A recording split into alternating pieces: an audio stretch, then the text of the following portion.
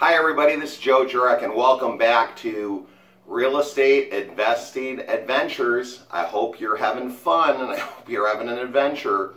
What I want to tell you today is I had a question that came up from John from New Port Richey. He had basically asked, in my area there's not a lot of deals that I can find through a realtor through the MLS.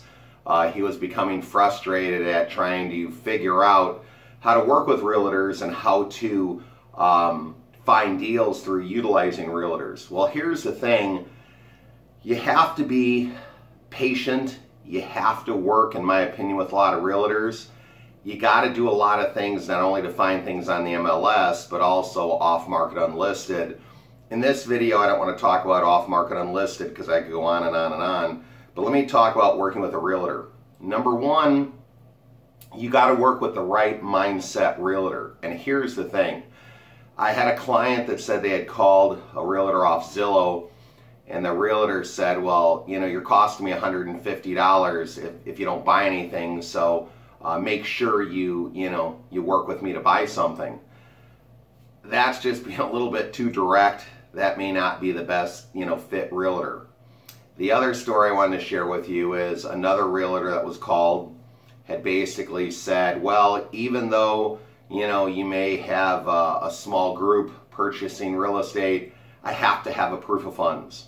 Now, I understand people want to waste their time and they, they especially want to know people are qualified to buy.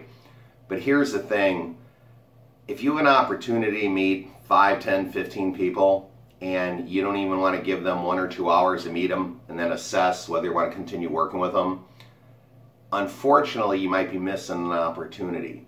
And what I want to say is you got to do what's in your best interest, maybe as a realtor, but sometimes new investors get discouraged because they run into, they feel a brick wall. They run into a realtor that maybe isn't as helpful, doesn't know the market, not quite sure what they want. So, point number one is make sure the realtor works with investors. Okay, they got to work with investors ask them what areas are hot right now, where people are buying, where people are flipping, where people are renting, okay? Get a lay of the land, okay? You got to know what's going on in your area.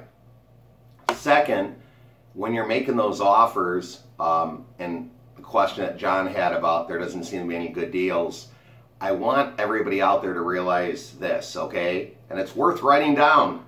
so get a piece of paper and a pen, okay? Great deals are created by the offer you make.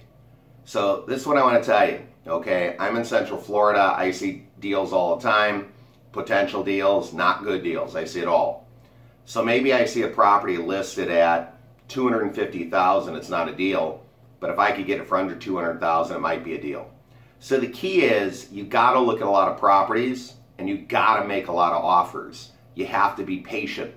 One thing that living by Walt Disney World has taught me is anytime you want to go to the theme parks, you're waiting in line, but you do keep moving, but you're still in line. So being an annual pass holder, what has that taught me? It's taught me a lot of patience. Let me tell you that. It really has.